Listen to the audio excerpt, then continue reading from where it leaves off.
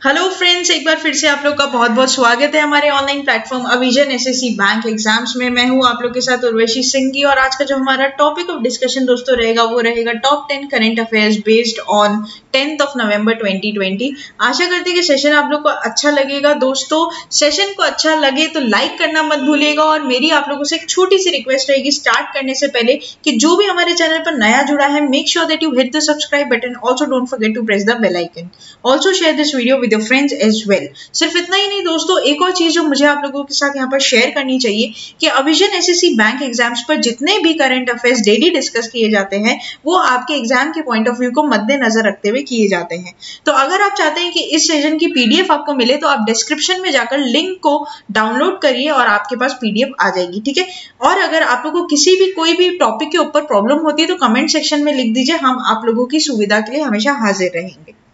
तो चलिए फिर बिना किसी देरी के स्टार्ट करते हैं अपने सेशन का पहला क्वेश्चन आप लोगों की स्क्रीन पर। Among the following, with which country India recently attended the bilateral summit 2020 virtually? दोस्तों आप लोग को बताना है कि इंडिया ने रिसेंटली किसके साथ बायोलेट्रल मीटिंग की है वर्चुअली uh, क्योंकि ऑब्वियसली कोविड 19 की सिचुएशन है तो सारी चीज़ें आपकी क्या हो रही है वर्चुअली हो रही है। आपको उस कंट्री का नाम यहाँ पर बताना है। ऑप्शन है आप लोग के पास ईरान रशिया यूएस यूएसए और Italy the correct option will be option number D that is Italy अगर मैं बात करूँ दोस्तों इटली की तो सबसे पहले यहाँ पर हम लोग नाम जान लेंगे इटली के प्रेसिडेंट का तो यहाँ पर इटली के जो प्रेसिडेंट का नाम हो जाएगा, वो क्या हो जाएगा आपका? सार्जियो मैटरेला ठीक है? उसके बाद बात कर लेते हैं यहाँ के प्राइम मिनिस्टर की तो प्राइम मिनिस्टर का नाम भी जान लीजिए दोस्तों। प्राइम मिनिस्टर का नाम होगा आप लोग का जोसेपे कॉन्टे ठीक है? बात करेंगे अगर इसके कैपिटल की तो कैपिटल में यहाँ पर इटली का कैपिटल दोस्तों क्या हो जाएगा? तो रोम। और इसी के साथ साथ अगर बात करते हैं करेंसी की तो करेंसी क्या हो जाएगी आपकी? यूरो। ठीक है? ये सारी चीज़ें आपके एडिशनल में थी दोस्तों, जो आपको ध्यान रखनी होगी। नहीं, आप पढ़ लेते हैं इसके बारे में, डिटेलिंग कर लेते हैं। The bilateral summit between The India and Italy was held virtually. The summit was attended by Indian Prime Minister Shri Narendra Modi and Prime Minister of Italy Professor Giuseppe Conte. The two leaders received the broad framework of the bilateral relationship and reaffirmed their commitment to strengthen cooperation against common global challenges including the COVID-19 pandemic. तो दोस्तों यहाँ पर ये बात आप लोग को ध्यान रखनी है कि इंडिया और इटली जो है, इसके जो रिलेशन है वो काफ़ी अच्छे हैं और इस रिलेशन को और स्ट्रॉन्ग करने के लिए यहाँ पर ये सबमिट हुई थी। ठीक है? ऑलरेडी पंद्रह एमओयू इंडिया और इटली साइन कर चुका है। एमओयू का मतलब आपका क्या हो जाएगा? मेमोरेंडम ऑफ़ अंडरस्टैंडिंग जहाँ पर आप लोगों को इंक्लूडिंग सेक्टर जो अगर मैं एक दो बता दूँ तो वो ध्यान रख लेना। आप लोग एक होता है आपका फिशरीज के ऊपर। इन लोगों ने काफ़ी ज़्यादा दबदबा दिखाया है। दूसरा आपका डिज़ाइन के ऊपर। तीसरी अगर मैं बात करूँ तो आप लोगों का एनर्जी को लेकर तो ये काफ़ी ज़्यादा इंपॉर्टेंट आप लोग के यहाँ पर जानने की बात होगी दोस्तों, ठीक है? ये बात आप लोग यहाँ पर ध्यान रखना। और इवन कोविड नाइन्टीन की जो पैंडेमिक में जो चैलेंजेस फेस कर रही है दोनों कंट्रीज़ उसको भी लेकर काफ़ी ज़्यादा ये लोग क्या कर रहे हैं, महत्वपूर्ण चीज़ें एक्सचेंज कर रहे हैं या फिर महत्वपूर्ण जानकारियाँ एक दूसरे को दे रहे हैं ताकि दोनों कंट्रीज़ में एक अच्छा फ्रेंडली नेचर बना रहे हैं, ठीक है? ये बात आप लोग को ध्यान रखनी होगी। तो ये बात आप लोग को एग्ज़ाम पॉइंट ऑफ़ व्यू से ध्यान रखनी होगी। इंडिया और इटली बात कर लेते हैं अपन। सारी चीज़ों की तो मैंने यहाँ पर आप लोग को एडिशनल बता ही दिया है। तो कोई प्रॉब्लम यहाँ पर होती है तो आप कमेंट सेक्शन में लिखकर बता सकते हो। नेक्स्ट चलते हैं क्वेश्चन नंबर टू के ऊपर। In which state first solar based water supply programme is launch तो दोस्तों, यहाँ पर आप लोग को बताना है कि इंडिया की ऐसी कौन सी स्टेट है जिसमें सबसे पहली सोलर बेस्ड वाटर सप्लाई क्या की गई है दोस्तों? लॉन्च की गई है, ठीक है? ये बात आप लोग को यहाँ पर बतानी है।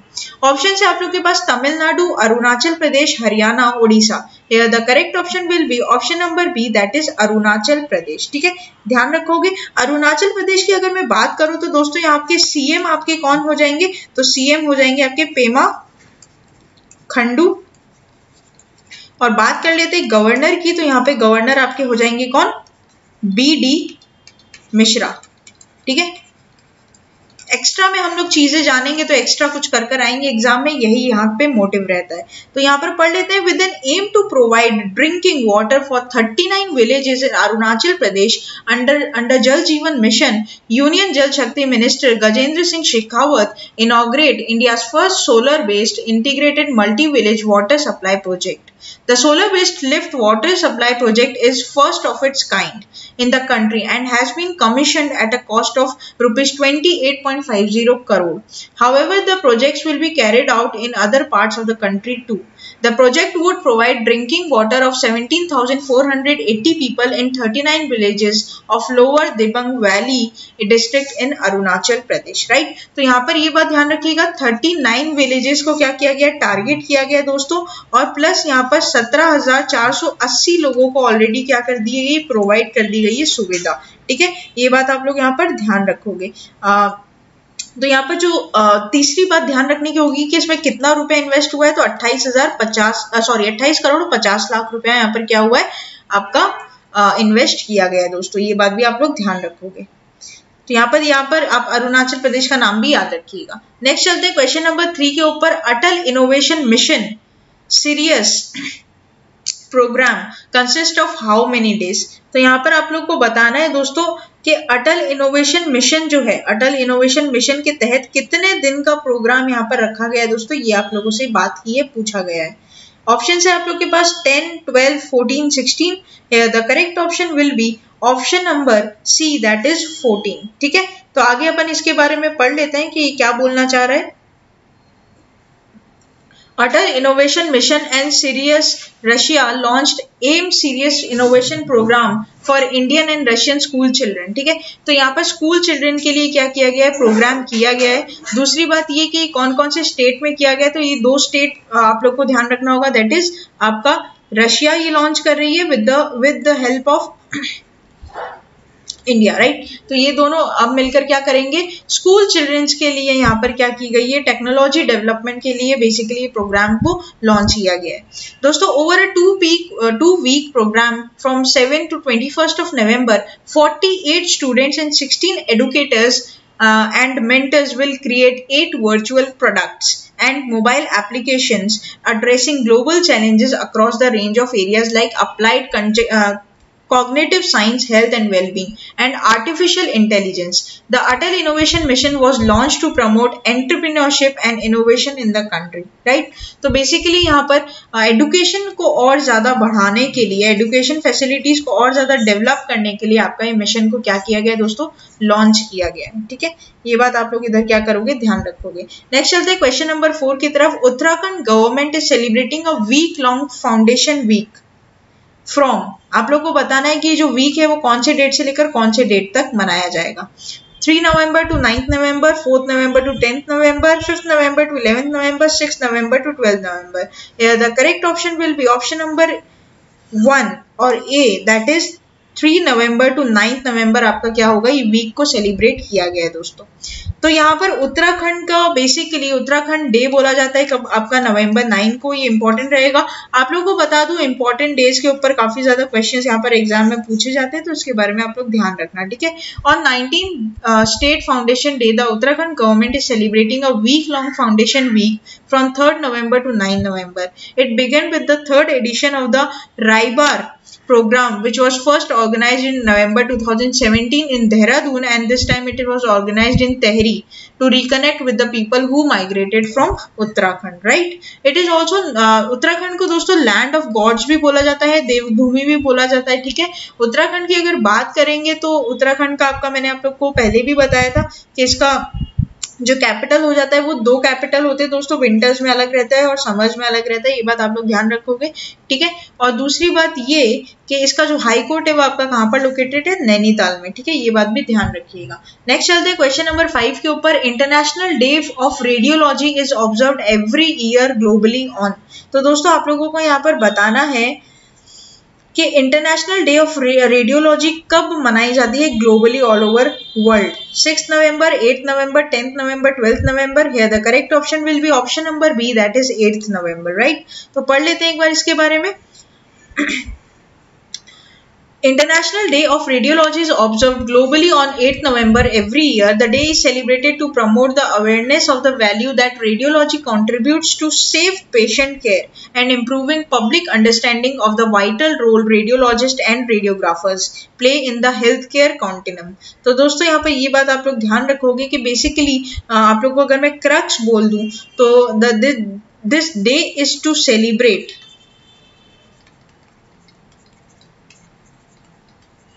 this day is to celebrate the discovery of X ray ठीक है? ये बात आप लोग ध्यान रख लेना। ये लाइन भी आप लोगों की लिखी हुई आ सकती है। बेसिकली एक्सरेज जो होते हैं, ये इस दिन पे क्या हुए थे? इन्वेंट हुए थे दोस्तों। और ये इन्वेंट हुआ था आपका 1895 में। और इन्वेंट करने वाले का नाम था आपका विलहेल्म रोइंटगन ठीक है? विलहेम रोइंटगन ने इनको क्या किया था? इन्वेंट किया गया था और सबसे पहला इंटरनेशनल डे ऑफ़ रेडियोलॉजी मनाया गया था 2012 में। ठीक है? ये बात आप लोग को यहाँ पर ध्यान रखनी होगी। उससे ज़्यादा इंपॉर्टेंट जो आपको बात याद रखनी होगी कि इसका थीम या फिर मोटो क्या है। तो यहाँ पर 2020 का थीम और मोटो आपका है radiologist and radiographer supporting patient during COVID nineteen right बहुत इंपॉर्टेंट होती है थीम और मोटो तो याद रखिएगा। नेक्स्ट चलते क्वेश्चन नंबर सिक्स के ऊपर who wins the US presidential election Admasihas, Joe Biden, Donald Trump, Amani Jarar. Here the correct option will be option number B that is Joe Biden. ठीक है? तो यहाँ पर जो बिडेन अब क्या बन चुके हैं दोस्तों? यूएस के प्रेसिडेंट बन चुके हैं। ये बात आप लोग को इधर क्या करनी होगी? ध्यान रखनी होगी। वैसे तो बड़ा हॉट टॉपिक है आप लोग को पता ही होगा इसके बारे में। तो Joseph Robinette Biden Junior has defeated Donald Trump to become the 46th, very, very important, 46th US president, unseating the incumbent in the pledge to unify and mend the nation reeling from a worsening pandemic, flattering economy and deep political divisions. ठीक है दोस्तों यहाँ पर जो मेरे को बात आप लोगों को बतानी थी कि यही कि डोनाल्ड ट्रंप जो थे वो फोर्टी आप लोगों के डोनाल्ड ट्रंप आपके पहले यहाँ पर प्रेसिडेंट रह चुके हैं और उसके बाद इनको हटाकर अब जो आए हैं वो कौन है? आपका जोसेफ रॉबिंटन बिडन। ठीक है, ये बात आप लोग इधर क्या करोगे? ध्यान रखोगे। इसमें जो आप लोगों को बात ध्यान रखनी है एग्ज़ाम के पॉइंट ऑफ़ व्यू से, वो यही होगी दोस्तों। इससे ज़्यादा डेप्थ में आपको क्वेश्चन वहाँ पर नहीं पूछा जाएगा। नेक्स्ट चलते हैं क्वेश्चन नंबर सेवन के ऊपर। Which state government launches Parivarthanam scheme for better livelihood of fisher folk तो यहाँ पर आप लोग के पास ऑप्शन है, Rajasthan West Bengal Assam Kerala here the correct option will be option number D that is Kerala right तो केरला यहाँ पर क्या कर चुका है? केरला सरकार ने यहाँ पे परिवार परिवर्तनम स्कीम लॉन्च की है फॉर द फिशर फ्लुक्स मछुआरों के लिए बेसिकली यहाँ पर क्या की गई है? इस प्रोग्राम को लॉन्च किया गया दोस्तों, पढ़ लेते हैं इसके बारे में भी कि ये क्या बोलना चाहता है। Kerala launches Parivarthanam scheme for better livelihood of fisher folk The government of Kerala has launched a pioneer eco-sustainable program called Parivarthanam, जिसका नाम आप लोगों को याद रखना होगा to improve the livelihood of fishing community. The scheme aims to improving the livelihood skill of youngsters along the coastline and also enable socio-economic uplift of fishermen community. The government of Kerala has launched a pioneer eco-sustainable program called Parivarthanam to improve the livelihood of fishing community. Right? ये बात आप लोग इधर क्या करोगे ध्यान रखोगे important रहेगा आपके एग्ज़ाम पॉइंट ऑफ़ व्यू से, क्योंकि ये नया बना है तो आपका क्या होगा? क्वेश्चन यहाँ पर पूछा जा सकता है। इसी के साथ मैं आप लोगों को एक और बात बता दूँ दोस्तों कि ये स्कीम के अंदर जितने भी कॉलेज ड्रॉप आउट्स हैं, ठीक है? जो भी स्टूडेंट जो कॉलेज ड्रॉप आउट्स हैं, या फिर माइग्रेंट्स है जो माइग्रेंट्स है, जो अपने घर वापस लौट गए हैं और वो अभी अनएम्प्लॉयड है, उनको भी उनको भी एक तरीके का एम्प्लॉयमेंट यहाँ पर प्रोवाइड कराया जाएगा इस स्कीम के अंदर, ठीक है? ये बात भी आप लोग इधर ध्यान रखना। केरला की अगर मैं बात अगर आप लोगों को और एक्स्ट्रा इसमें कुछ बताना चाहूँ तो दोस्तों यहाँ पर केरला को लेकर इसके सीएम का नाम आप लोगों को पता होना चाहिए। सीएम इसके कौन है? तो पिनरई विजयन और बात कर लेंगे गवर्नर की तो अरिफ मोहम्मद खान, ठीक है? ये बात आप लोग इधर क्या करोगे? ध्यान रखोगे एग्ज़ाम पॉइंट ऑफ़ व्यू से नेक्स्ट चलते क्वेश्चन नंबर एट की तरफ़ the Indian space research organisation headquartered at Bengaluru Chennai Kolkata new here the correct option will be option number A that is Bengaluru right तो यहाँ पर आप लोगों का करेक्ट ऑप्शन जो हो जाएगा, वो क्या हो जाएगा? इसरो का हेडक्वार्टर आप लोगों का हो जाएगा यहाँ पर बेंगलुरु में राइट अच्छा उसी के साथ अगर बात कर लेते हैं इसरो के चेयरमैन की तो ये आप लोगों को जानना काफ़ी ज़्यादा इंपॉर्टेंट रहेगा। इसरो के यहाँ पर चेयरमैन का नाम आपका क्या हो जाएगा? के सिवन के सिवन ठीक है? और इसी के साथ हेडक्वार्टर की तो अपन बात कर ही चुके हैं तो हेडक्वार्टर आपका कहाँ हो जाएगा? बेंगलुरु तो यहाँ पर इंडियन रिसर्च ऑर्गेनाइजेशन ने लॉन्च किया है दोस्तों fifty first mission of polar satellite launch vehicle PSLV this is the first mission by ISRO in 2020 and the carrier vehicle PSLV C49 will deliver 10 satellites in all in the primary one. ठीक है? The first fifty one mission of the polar P S L V the carrier was launch from the Satish Dhawan space centre Sriharikota, Andhra Pradesh right तो ये जो आप लोगों का rocket launch होने वाला है, वो कहाँ से होने वाला है? श्रीहरिकोटा में। और इसके अंदर 10 सैटेलाइट्स क्या करी जाएगी दोस्तों? भेजी जा रही है। ये बात आप लोग को ध्यान रखनी होगी।